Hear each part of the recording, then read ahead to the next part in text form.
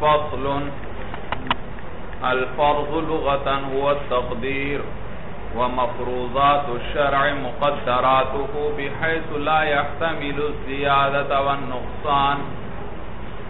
وفي الشرع ما ثبت بدليل قطعي لا شبهة فيه، وحكمه لزوم العمل به والاعتقاد به.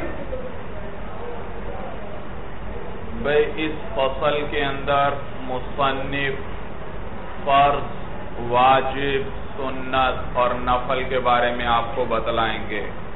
آپ سنتے رہتے ہیں کوئی چیز کہ یہ فرض ہے، مثلا نماز۔ ویتر کے بارے میں آپ سنتے ہیں، بھئی یہ واجب ہیں۔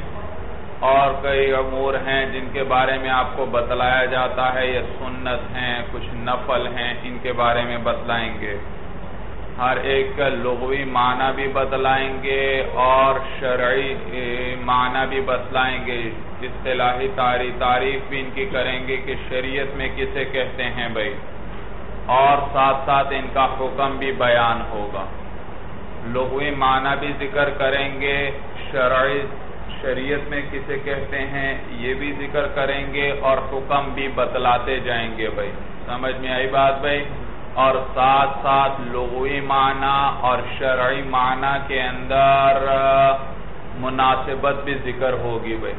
لغوی معنی اور شرعی معنی کے درمیان مناسبت بھی۔ دیکھیے بھائی، آسان بحث ہے۔ الفرض لغتاً ہوا تقدیر۔ فرض جو ہے بیعتبار لغت کے وہ اندازہ کرنا ہے۔ لغت میں کسے کہتے ہیں؟ اندازہ کرنا۔ جی۔ وہ اب آگے مناسبت ذکر کر رہے ہیں بھائی۔ کہتے ہیں وہ مفروضات الشرع مقدراته بحیث لا يحتمل الزیادت والنقصان۔ مفروضات شرع، شریعت کی فرض کردہ چیزیں یعنی شریعت کے فرائض جو ہیں، مقدراته، وہ اس کے، وہ مقرر کردہ اندازے ہیں۔ شریعت کے جو فرض ہیں، وہ کیا ہیں؟ اس کے وہ مقرر کردہ اندازے ہیں، بحیث اس طور پر کہ لا يحتمل الزیادت و نقصان، کہ وہ بھی زیادتی اور کمی کا احتمال نہیں رکھتے۔ صورت سمجھ میں آئی بھائی، لغت میں کسے کہتے ہیں؟ اندازہ کرنا۔ اور یہ تو مناسبت کیا ہے؟ ان کی شریعت میں تو شریع معنی آگے آنے والا ہے بھائی، شریعت میں کسے کہتے ہیں بھائی؟ تو یہ بھی وہ شریعت کے وہ مقرر کردہ اندازے ہیں جو کمی بیشی کا احتمال نہیں رکھتے۔ جیسے ظہر کی نماز چار رکعت فرض ہے، یہ کمی بیشی کا احتمال نہیں رکھتی کہ آپ تین پڑھ لیں یا پانچ پڑھ لیں بھائی۔ تو فرض کا بھائی، ایک معنی آپ نے لغتاً پڑھا ہوا تقدیر۔ اس کا کیا معنی ہے؟ اندازہ کرنا۔ یا تقدیر کا دوسرا معنی کر لیں والا نا وہ زیادہ پسندیدہ ہے میرے نزدیک۔ تقدیر کا معنی یہاں ہے مقرر کرنا مولانا۔ کیا معنی ہے؟ الفرض لغتاً ہوا تقدیر، فرض لغت کے اعتبار سے وہ مقرر کرنا ہے۔ فرض کسے کہتے ہیں بھائی؟ مقرر کرنا۔ وہ مفروضات الشرعی اور شریعت کے فرض کردہ جو چیزیں ہیں، مقدرات ہو، اس کے وہ مقرر کردہ چیزیں ہیں۔ وہ اس کے مقرر کی ہوئی چیزیں ہیں، بحیث اس طور پر لا يحتمل الزیادت و نقصانہ کہ وہ کمی اور زیادتی اور کمی کا استعمال نہیں رکھتے۔ فرض کا کیا معنی بیان کیا بھائی؟ مقرر کرنا۔ اور فرض بھی کس کو کہتے ہیں؟ شریعت کی وہ مقرر کردہ چیزیں جو کمی بیشی کا استعمال نہیں رکھتی۔ جیسے مولانا فجر کی دو رکعت ہے، فرض نماز۔ اس میں کمی نہیں ہو سکتی کہ آپ ایک پڑھ لیں، زیادتی نہیں ہو سکتی کہ آپ تین پڑھ لیں۔ سورج سمجھ میں آئی؟ تو فرض کا لغوی معنی ہے مولانا، مقرر کرنا۔ جی۔ تو دو معنی کر دیے بھائی۔ اندازہ کرنا کر لیں، پھر بھی بات صحیح ہے۔ اور مقرر کرنا، کر لیں تو بھی۔ جی زیادہ مائے پسندیدہ مقرر کرنا بھائی۔ تو کہتے ہیں الفرض لغتاً ہوا تقدیر، فرض جو ہے بیعتبار لغت کے وہ مقرر کرنا ہے، اس کا معنی بھائی وہ مفروضات الشریع اور شریعت کے فرض کردہ چیزیں جو ہیں مقدرات اس کے وہ مقرر کردہ چیزیں ہیں۔ بحیث اس طور پر کہ لا يحتمل الزیادت والنقصان، کہ وہ احتمال نہیں رکھتی زیادتی اور کمی کا۔ وفی الشارع اور شریعت کے اندر فرض کہتے ہیں، ما ثبت بدلیل قطعی، وہ جو ثابت ہو دلیل قطعی کے ساتھ، لا شبہت فیہی ایسی دلیل قطعی جس کے اندر کوئی شبہ نہ ہو۔ جی یہ شرعی شرعی تعریف آ گئی۔ وحکمہ حکم بتلا رہے ہیں۔ وحکمہ لزوم العمل بھی والاعتقاد بھی اور اس کا حکم جو ہے، اس پر عمل کا لازم ہونا ہے اور اس پر اعتقاد کا لازم ہونا ہے۔ لزوم العمل بھی ہے اور لزوم الاعتقاد بھی ہے۔ عمل بھی لازم ہے اور اعتقاد بھی لازم ہے۔ بھائی، سمجھ میں آئے؟ حتیٰ کہ اگر کوئی اس پر عمل نہیں کرتا تو اس کو فاسق کہیں گے اور کوئی اس کا اعتقاد نہیں رکھتا تو اس کو کافر کہیں گے۔ سمجھ میں آیا بھائی؟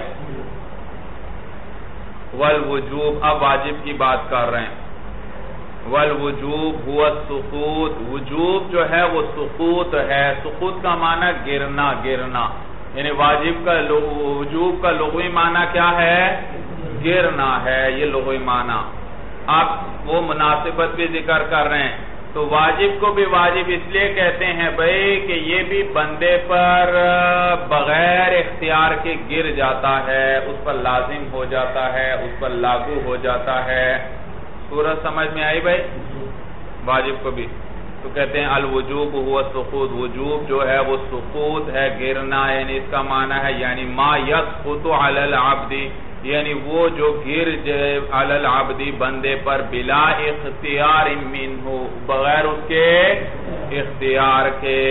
جی یعنی اس پر لازم ہو جائے، اس پر لاگو ہو جائے۔ وقیل، بعضوں نے کہا، ہوا من الوجبتی، وجبہ بھی سکون الجیم بھئی۔ بعضوں نے کہا، یہ وجبہ سے ہے، وجبہ وجوب کس سے ہے؟ بھائی ایک قول تو ذکر کر دیئے یہ سقوط سے ہے، سقوط کا معنی گرنا، اور بعضوں نے کہا یہ وجبہ سے ہے۔ وہ الاستراب اور وجبہ کسے کہتے ہیں؟ استراب مسترب ہونا، بھائی متردد ہونا۔ جی۔ سمی الواجب مناسبت ذکر کر رہے ہیں۔ سمی الواجب بذالکا واجب کو موسوم کیا گیا۔ واجب کے نام کے ساتھ لکون ہی مستربن بین الفرض والنفل، اس لیے کہ یہ بھی متردد ہے فرض اور نفل کے درمیان بھائی۔ یہ بھی مسترب ہے، متردد ہے کس کے درمیان؟ فرض اور نفل کے درمیان۔ پوری طرح فرض بھی نہیں، پوری طرح نفل بھی نہیں۔ دیکھو کیسے بھائی؟ کہتے ہیں، فصار فرضن فی حق العملی بھئی یاد رکھو، واجب پر عمل ضروری ہے، لیکن اس کا اعتقاد ضروری نہیں ہے۔ تو یہ فرض کی طرح ہوا بئی اعتبار کہ جیسے فرض پر عمل ضروری ہوتا ہے، اس پر بھی عمل ضروری ہے۔ اور یہ نفل کی طرح ہے کہ جیسے جی جیسے اس کا اعتقاد نہیں ہوتا، اس کا بھی اعتقاد نہیں ہے۔ تو کہتے ہیں، فصار فرضن فی حق العملی فرض یہ فرض بن گیا ہے عمل کے حق میں یعنی عمل کے اعتبار سے، حتی لا یجوز ترکوہو یہاں تک کہ اس کا ترک کرنا جائز نہیں ہے. وَنَفْلًا، اور یہ نفل ہو گیا ہے فی حق الاعتقاد، اعتقاد کے حق میں، فلا يلزمن الاعتقاد بھی جزمن بس لازم نہیں ہے ہمارے اوپر اعتقاد رکھنا اس پر جزمن یا قطعی طور پر. یقینی طور پر، یقینی طور پر اس کا اعتقاد رکھنا ضروری نہیں۔ وفی الشرع وفی الشرع، اور شریعت میں کسے کہتے ہیں؟ وہ ما ثبت بدلیل وہ حکم ہے جو ثابت ہو بدلیل ایسی دلیل کے ساتھ فیہ شبہت جس کے اندر کیا ہو؟ شبہ ہو کل آیت المعولتی والصحیح من الاحادی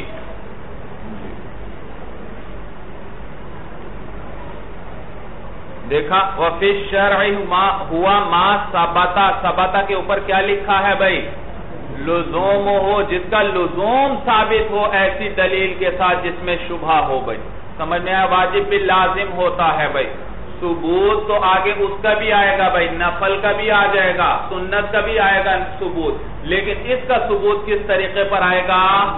لزوم کے طریقے پر کہ اس پر عمل کرنا کیا ہوگا؟ لازم ہوگا جی۔ تو لزوم جب کہا تو اس کے ذریعے سنت اور نفل خارج ہو گئے۔ کل آیت المعولتی جیسے اس کی آیت معولہ ہوتی ہے، وہ آیت جس میں تعویل کی جائے بھائی۔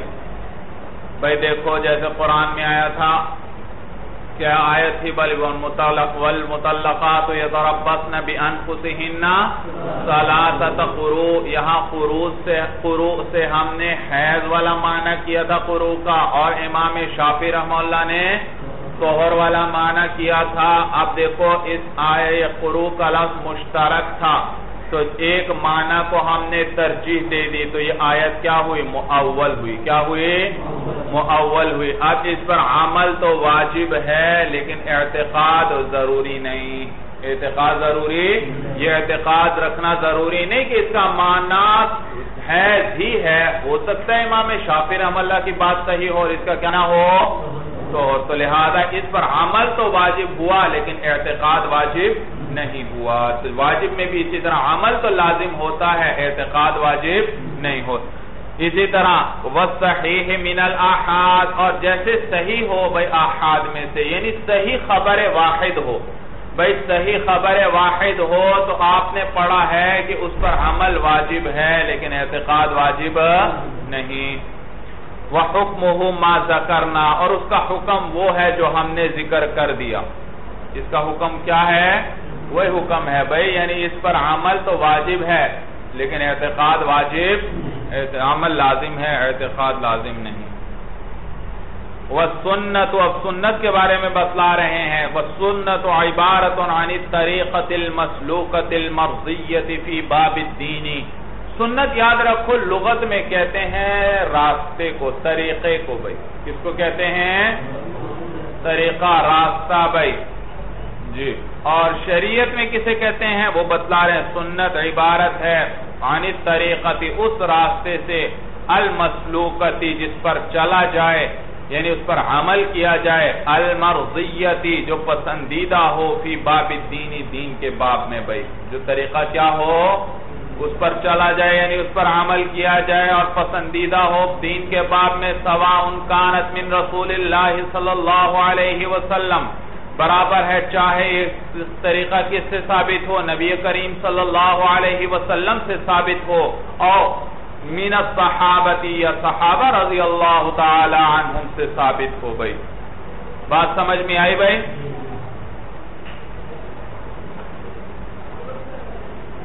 جی تو سنت کی کیا تعریف کی بھئی کہ وہ سنت اور سنت کا میں نے کیا لوگی معنی بتلایا؟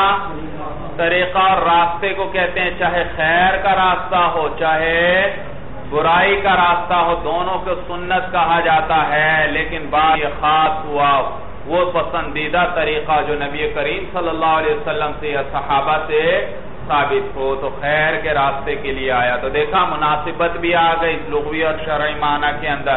وہ بھی راستہ ہے، یہ بھی کیا ہے؟ راستہ ہے۔ جی۔ اور نیز دیکھیے بھائی، المرضیہ کے اوپر، فی باب الدین کے اوپر کیا لکھا ہے؟ لا علا وجہ الفرض والواجبی بھائی۔ یہ قید بھی ضرور بڑھانا بھائی۔ کہ وہ طریقہ جس پر چلا جائے اور پسندیدہ ہو، لیکن فرض اور واجب کے طریقے پر نہ ہو بھائی۔ فرض اور واجب کے طریقے پر۔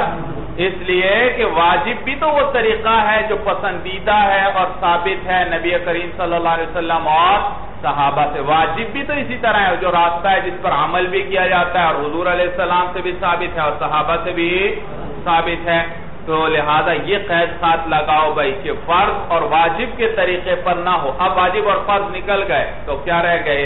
سنتیں رہ سمجھ میں آیا؟ بھائی، نبی کریم صلی اللہ علیہ وسلم سے جو ثابت ہو، وہ تو ٹھیک ہے۔ یہ صحابہ سے جو ثابت ہو، اس کو آپ نے کیسے سنت میں داخل فرما دیا؟ کہتے ہیں، بھائی، قال، حدیث ذکر کر رہے ہیں۔ قال علیہ السلام نبی کریم علیہ السلام فرماتے ہیں، علیکم بسنتی، لازم پکڑو تم میری سنت کو وسنت الخلفاء من بعدی، اور خلفاء راشدین کی سنت کو میرے بعد۔ عزو علیہا بالنواجز عز عزو کے معنی ہوتے ہیں دانتوں سے کسی چیز کو دبانا، کاٹنا بھئی عزو دانتوں سے پکڑو علیہا اس کو۔ بن عزو پکڑو علیہا اس پر بن نواجزی نواجز، یہ داڑ کے دانت۔ داڑ کے دانتوں کے ساتھ اس کو پکڑو۔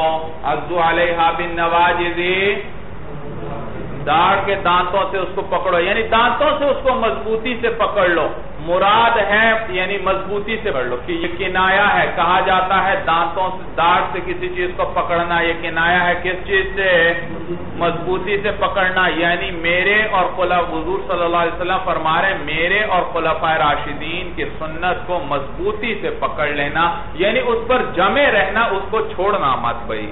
سورج سمجھ میں آئی بھائی؟ تو یہ کنایا ہے قوت کے ساتھ پکڑنے سے کہ اسے قوت کے ساتھ اور مضبوطی سے پکڑو بھائی۔ یہ سنت کی تعریف وَحُكْمُهَا سنت کا حکم یہ ہے کہ اَن يُطَالَبَ الْمَرْءُ بِإِحْيَائِهَا کہ مطالبہ کیا جائے گا۔ آدمی سے بھی احیاء سنت سنت کے زندہ کرنے کا۔ آدمی سے کیا مطالبہ کیا جائے گا؟ اس سنت کے زندہ کرنے کا مطالبہ یعنی اس سنت کو زندہ رکھو یعنی اس پر عمل کرتے رہو۔ کیا کرتے رہو؟ عمل کرتے رہو۔ وَسْتَحِقُ اللَّائِمَةَ بِتَرْكِهَا، اور وہ مستحق ملامت ہوگا اس کے ترک کرنے پر۔ اس کے ترک کرنے پر کیا ہوگا؟ مستحق ملامت ہوگا۔ سورج سمجھ میں آئی بھائی؟ ملامت بھی ہوگی اور حرمان شفاعت بھی ہوگا بھائی۔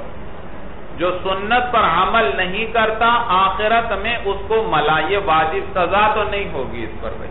فرض تو ہے نہیں، واجب تو ہے نہیں۔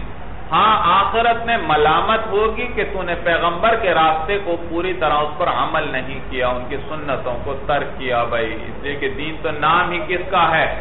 سنتوں کا ہے۔ ملامت کیا جائے گا۔ اور نبی کریم صلی اللہ علیہ وسلم کی جو شفاعت ہے، اس سے محروم رہے گا۔ حضور اس کی سفارش نہیں فرمائیں گے بھائی۔ سنتوں کو زندہ کرو بھائی، ان پر عمل کرو بھائی۔ اسی لیے میں آپ سے کہتا ہوں بھائی کہ یہ جب چھینکو تو الحمدللہ اونچی آواز سے کہو اور باقی ساتھی کیا کریں اس کا جواب دیں۔ یہ سنت ہے بھائی۔ بالکل یہ تو تقریباً متروک ہی ہو چکی ہے۔ قریب قریب بھائی۔ آپ دیکھتے ہیں بھائی، حتیٰ کہ علماء کی مجلس میں بھی آپ کو خال خال ہی کہیں ایسا ملے کہ وہ اس سنت پر عمل کرتے ہوں۔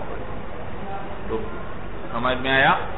تو حدیث میں آیا بھائی کہ چھینکنے والے کو کیا کہنا چاہیے؟ الحمدللہ کہنا چاہیے اور سننے والے کو یرحمک اللہ کہنا چاہیے اور پھر چھینکنے والے کو جواب میں کیا کہنا چاہیے؟ یہدیکم اللہ و یسلح بالکم یا یسلح حالکم، دو روایتیں آتی ہیں بھائی۔ تو اس پر عمل کرو بھائی، عمل کرو بھائی۔ یہاں کرو گے تو مشق ہوگی بھائی عادت ہو جائے گی، پختہ عادت ہو جائے گی۔ تو کہتے ہیں مستحق ملامت ہوگا اس کے ترک کرنے پر اللہ ایت رکاہا بعذر مگر یہ کہ اس کو ترک کر دے کسی عذر کی وجہ سے۔ کوئی عذر پیش آ جائے، اس کی وجہ سے ترک کر دے، تو پھر اس پر ملامت نہیں ہے بھائی۔ ون جی اب نفل کی بات بھائی۔ دیکھا، فرض واجب سنت تینوں کا کہ لغوی معنی بھی آ گئے، شرعی معنی بھی آ گئے اور حکم بھی آ گئے۔ اب نفل رہ گیا۔ والنفل عبارت عن زیادتی اور نفل عبارت ہے زیادتی سے۔ زائد چیز کو کہتے ہیں، زائد کو۔ والغنیمت تسمى نفلا لأنها زیادت على ما هو المقصود من الجہادی اور غنیمت کو بھی نفل کہتے ہیں، اس لیے کہ یہ زائد ہے اس چیز پر جو مقصود ہوتی ہے جہاد سے۔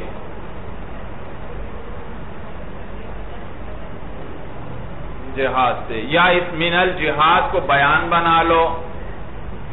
جہاد کو بیان بنا لو یعنی کہ جو جہاد ہے۔ مقصود تو ہے جہاد بھائی، مقصود کیا ہے؟ یعنی اعلاء کلمت اللہ ہے۔ جہاد سے مقصد کیا ہوتا ہے؟ اعلاء کلمت اللہ ہوتا ہے، اللہ کے کلم کو بلند کیا جائے تو جو غنیمت مال حاصل ہوتا ہے، وہ زائد ہوتا ہے۔ کیا ہوتا ہے؟ مقصد سے زائد ہے۔ اسی لیے اس کو بھی نفل کہتے ہیں، غنیمت کو بھی بھائی۔ تو کہتے ہیں، والغنیمت تسمى نفلا۔ غنیمت کو بھی نفل کہتے ہیں، لِأَنَّهَا زیادت اس لیے کہ یہ زائد ہوتی ہے علامہ اس چیز پر هو المقصود، جو کیا ہوتی ہے؟ مقصود ہوتی ہے۔ من الجہادی جہاد سے۔ صورت سمجھ میں آئے بھائی؟ جی, جی۔ تو اعلاء کلمت اللہ ہو جائے دنیا میں اور آخرت میں ثواب مل جائے۔ آخرت میں کیا مل جائے؟ ثواب مل جائے۔ تو یہ غنیمت اس سے زائد ہے، مقصود سے۔ وہ فی شرع اور شریعت کے اندر عبارت یہ عبارت ہے عامہ اس عبادت سے وہ زیادت علی الفرائض والواجباتی جو زائد ہوتی ہے فرائض اور واجبات سے یعنی فرض اور واجب نہیں ہوتی بھائی۔ صورت سمجھ میں آئی بھائی؟ وحکمہ حکم اس کا یہ ہے، ان یصاب المرء علی فعله ولا يعاقب بترکه، کہ ثواب دیا جاتا ہے آدمی کو ان کے کرنے پر، ولا يعاقب بترکه اور سزا نہیں دی جاتی اس کے ترک کرنے پر۔ کر لے تو ثواب، نہ کرے تو کوئی گناہ یا سزا نہیں۔ نفل زائد بھائی۔ سمجھ میں آیا بھائی؟ والنفل والتطوع نظیرانی اور نفل اور تطوع اس کی نظیریں ہیں۔ نفل اور تطوع کیا ہے اس کی؟ بھئی یاد رکھو، ایک لفظ نفل اوپر آیا تھا۔ اس سے وہ نفل نہیں مراد جو آپ نفل نماز پڑھتے ہیں۔ مطلق زائد، جو بھی چیز فرض اور واجب سے زائد ہے، چاہے وہ نفل نماز کی صورت میں ہے، چاہے وہ نفل صدقہ و خیرات کی صورت میں ہے بھئی صورت سمجھ میں آئی بھائی؟ اور جو نیکی کے کام ہیں، وہ سارے جو فرائض اور واجبات سے زائد ہیں، وہ سب نفل میں داخل ہیں بھائی۔ اور یہاں جو آیا وہ نفل و تطوع نظیرانی، یہاں نفل سے مراد نفلی نماز لے لیں۔ نفل سے کیا مراد لے لیں؟ تو کہتے ہیں وہ جو نفل ہے یعنی وہ جو نفلی نماز ہے اور تطوع تطوع کہتے ہیں نیکی کے کام جو بطور اطاعت کے کیے جائیں۔ نیکی کے وہ کام جو بطور اطاعت کے کیے جائیں۔ بطور اطاعت کے، بطور عبادت کے کیے جائیں بھائی۔ لکھ لیا بھائی؟ نیکی کے وہ کام جو بطور اطاعت کے کیے جائیں، بطور عبادت کے کیے جائیں۔ تو کہتے ہیں نفل اور نیکی کے جو دوسرے کام ہیں جو بطور عبادت سے اطاعت کے کیے جاتے ہیں نظیرانی یہ دونوں نظیریں ہیں نفل کی۔ کس کی نظیریں ہیں؟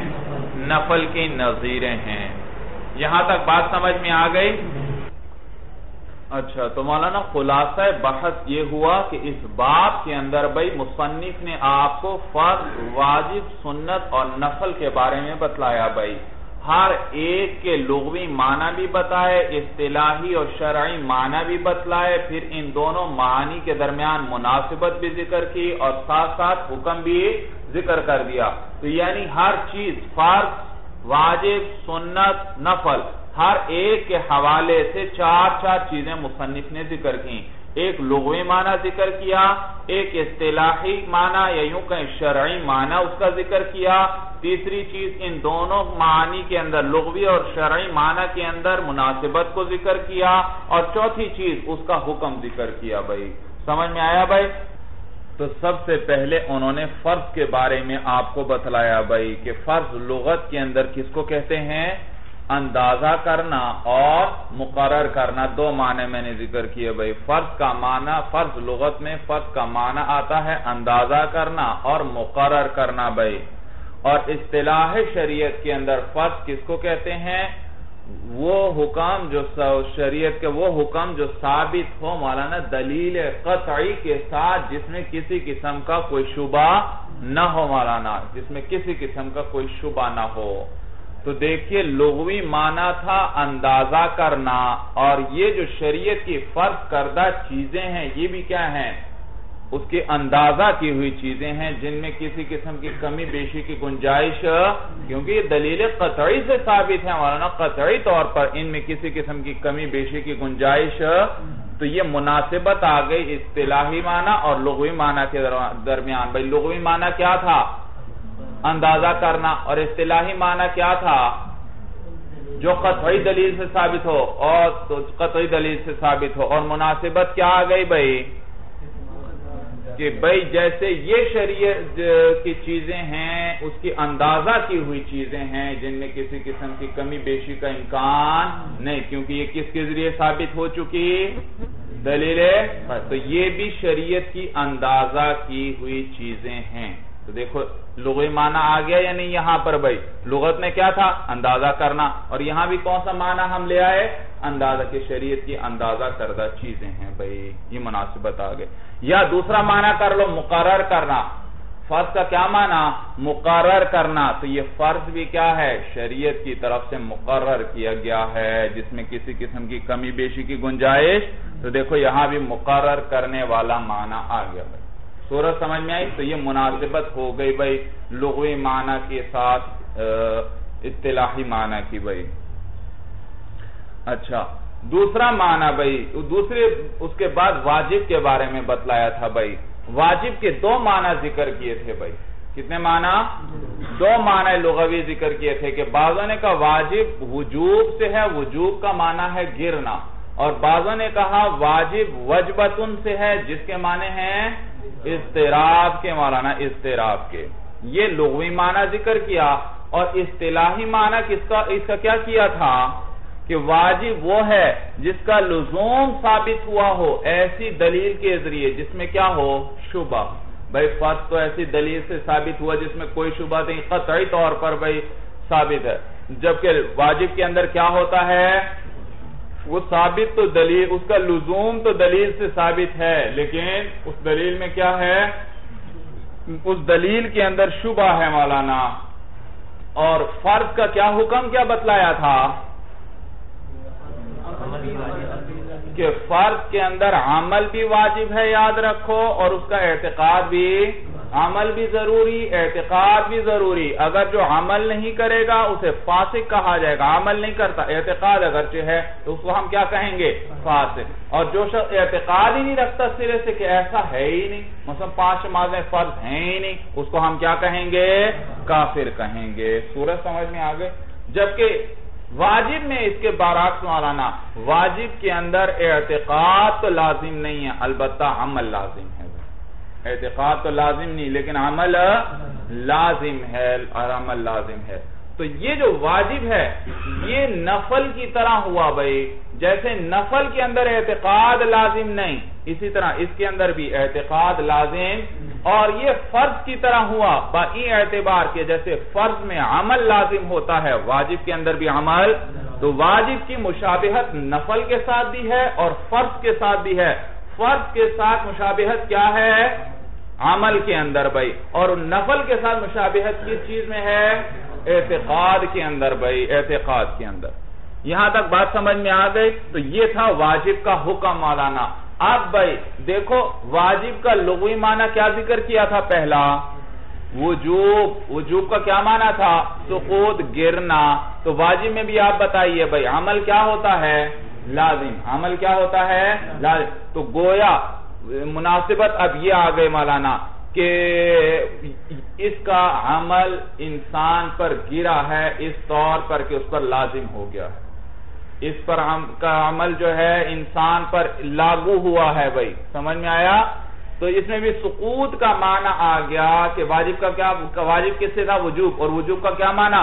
گرنا۔ تو یہاں پر بھی انسان پر کیا چیز گری، کیا چیز لازم ہوئی؟ عمل بھائی۔ عمل کیا ہوا؟ لازم ہوا، اس پر لاگو ہو گیا۔ سورج سمجھ میں آگے بھائی؟ یہ وجوب کے ساتھ معنی کے ساتھ مناسبت آگے اور دوسرا معنی کیا ذکر کیا تھا؟ استراب وجبتن سے ہے، جس کے معنی ہے استراب اس کے ساتھ بھی مناسبت ہے مولانا۔ وجبتن کا معنی کیا ہے؟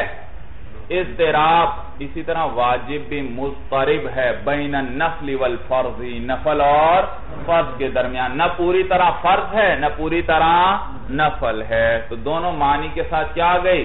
مناسبت آ گئی۔ پھر اس کی دو مثالیں بھی ذکر کر دی تھی بھائی واجب کی۔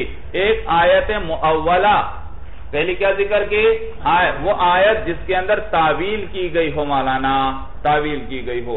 جیسے کون سی آیت میں نے ذکر کی بطور مثال کے، جیسے وہ سلاسہ قرو والی آیت بھائی، اور ان کا لفظ مشترک ہے، بین الحیض و طہری دونوں پر بولا جاتا ہے۔ لیکن یہ آیت میں کیا مراد ہے اس سے؟ احناف نے کیا مراد لیا اس سے؟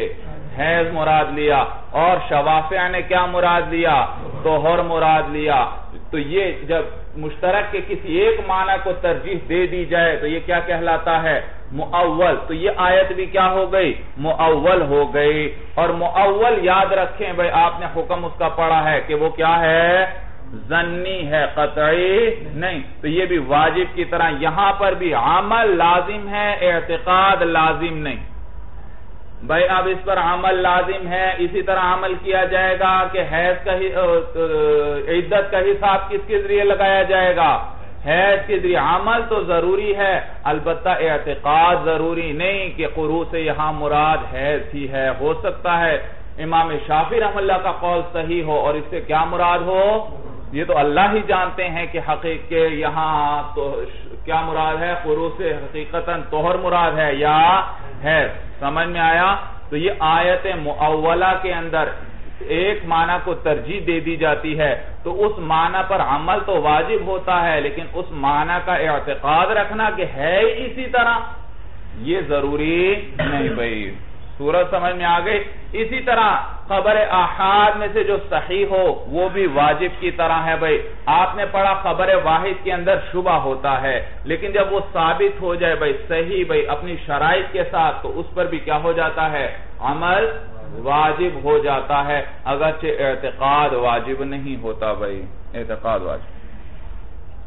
اس کے بعد بھائی سنت کے بارے میں آپ کو بتلایا تھا۔ میں نے بتلایا تھا بھائی، سنت لغت کے اندر راستے کو کہتے ہیں۔ کس کو کہتے ہیں؟ راستے کو کہتے ہیں۔ لیکن یہ راستہ نہیں جو آپ ظاہر میں دیکھتے ہیں، مولانا سڑک ہے یا گلی ہے یہ والا راستہ نہیں مراد۔ راستہ عمل مراد ہے، عملی راستہ مراد ہے۔ کیا مراد ہے؟ عملی راستہ اس کو سنت کہا جاتا ہے۔ مثلا جیسے بھائی تو جیسے ایک پیر بھائی اپنے مریدین کی رہنمائی کرتا ہے کہ یہ یہ کام کرو، یہ یہ کام کرو۔ تو دیکھو یہ ان کو راہ عمل بتلا رہا ہے۔ کیا بتلا رہا ہے؟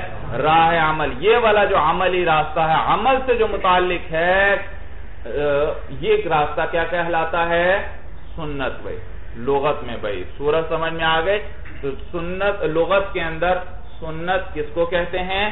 راستے کو۔ اور پھر یہ بھی یاد رکھنا کہ یہ خیر کے اندر بھی استعمال راستہ ہے وہ عملی راستہ چاہے خیر والا ہو، چاہے شر والا۔ دونوں کو سنت کہا جاتا ہے۔ دونوں کو کیا کہا جاتا ہے؟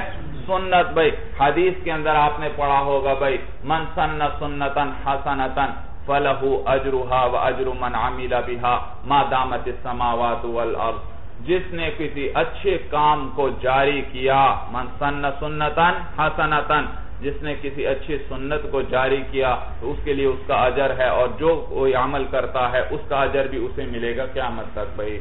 اور اسی طرح بھائی آگے آتا ہے، وَمَن سَنَّ سُنَّتًا سَيِّئَتًا فَلَهُ أَجْرُهَا وَأَجْرُ مَنْ عَمِلَ بِهَا مَا دَامَتِ السَّمَاوَاتُ وَالْأَرْضُ۔ اس جس نے کوئی برے کام کو جاری کیا، بری سنت کو جاری کیا، تو اسی کو اس کا بدلہ ملے گا اور جو لوگ اس پر بعد میں عمل کریں گے قیامت تک، ان سب کا بدلہ بھی، ان سب کا گناہ بھی اس کو ملے گا بھائی۔ سورج سمجھ میں آ گئے بھائی؟ تو سنت کا لفظ دیکھو، استعمال ہوا خیر کے لیے بھی حدیث میں اور شر کے لیے بھی۔ تو معلوم ہوا سنت راہ عمل کو کہتے ہیں، عملی راستے کو کہتے ہیں، جس کا تعلق عمل سے ہوتا ہے، چاہے وہ خیر والا ہو، چاہے وہ شر والا، لغت کے اندر بھائی۔ لیکن پھر اصطلاح شریعت کے اندر بھائی، سنت سے مراد حضور علیہ السلام کا بتلایا ہوا اور خلفاء کا بتلایا ہوا، صحابہ کا بتلایا ہوا وہ راستہ ہے، وہ راہ عمل ہے جو کس نے بتلایا ہمیں؟ حضور علیہ السلام نے اور صحابہ کرام نے بھائی۔ تو یہ مناسبت آ گئی، دیکھا، یہ بھی راستہ، عملی راستہ ہوا، جیسے وہ عملی راستہ تھا، لغت میں بھائی جی۔ اور حکم اس کا کیا تھا بھائی؟ کہ اس کے اندر آدمی سے مطالبہ کیا جائے گا عمل کرنے کا، کہا جائے گا کہ اسے کیا کرنا چاہیے؟ سنت پر عمل کرنا چاہیے، عمل کرنا چاہیے۔ اور جو کوئی سنت پر عمل نہیں کرتا تو وہ ملامت کا مستحق ہوگا اور آخرت میں حضور علیہ السلام کی شفاعت سے محروم رہے گا بھائی اسے تو جو سنت پر عمل نہیں کرتا بھائی، دین تو سارا دراصل سنتوں ہی کا نام ہے۔ اسے ملامت بھی کی جائے گی کہ تم نے نبی کریم صلی اللہ علیہ وسلم کی سنتوں پر تم عمل نہیں کرتے بھائی۔ اور آخرت میں اسے حضور صلی اللہ علیہ وسلم کی شفاعت نصیب نہیں ہوگی بھائی۔ حضور صلی اللہ علیہ وسلم کی شفاعت نہیں فرمائیں گے کہ اس نے میری سنتوں پر عمل نہیں کیا بھائی۔ سورج سمجھ میں آ گئی بھائی؟ جی۔ اور اس کے بعد نفل کے بارے میں بتلایا تھا بھائی۔ نفل کس کو کہتے ہیں؟ لغت کے اندر زیادتی کو کہتے ہیں۔ زائد چیز کو کیا کہا جاتا ہے؟